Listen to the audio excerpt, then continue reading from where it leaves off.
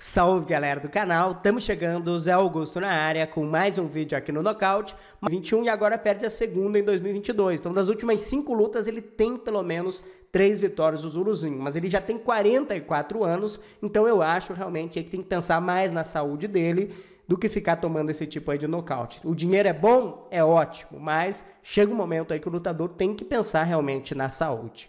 Segunda notícia agora do vídeo, essa possível luta em Anderson Silva contra Fedor Emelianenko. A luta dos sonhos de muita gente pode acabar acontecendo, pelo menos é o que quer o presidente do Bellator, o Scott Coker. Ele acabou dando uma entrevista falando que a equipe do Bellator já teve um primeiro contato com Anderson Silva para a realização dessa luta. Olha só o que, que o Scott Coker comentou. Nós oferecemos uma luta de MMA contra o Fedor. Não chegamos a falar nos números reais ou nada do tipo, mas houve esta abordagem da nossa parte para checar se havia algum interesse. Na época, ele realmente quis focar no boxe e ver o quão longe ele conseguiria ir.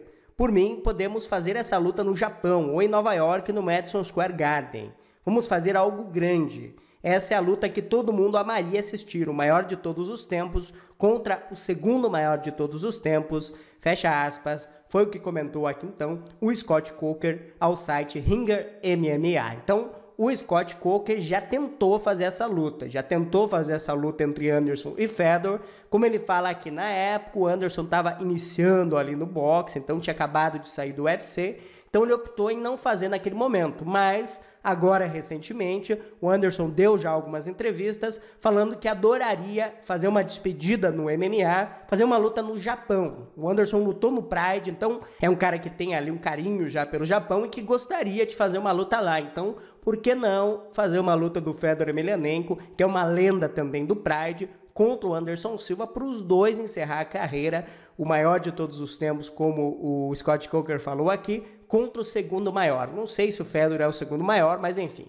É uma grande luta, é uma luta fácil de promover, mesmo os dois já sendo veteranos, dois lutadores que o Anderson já aposentou do MMA, mas agora está no boxe, e o Fedor já aposentou, voltou, aposentou, voltou novamente. Então é um cara que a gente nunca sabe quando vai parar. Então, em relação a esse duelo. Os dois não são mais garotões, são veteranos. É uma luta muito mais justa, na minha opinião, do que, por exemplo, você fazer uma luta do Fedor contra o Ryan Bader. O Bader nocauteou o Fedor com um golpe, então não faz muito sentido fazer essa luta agora.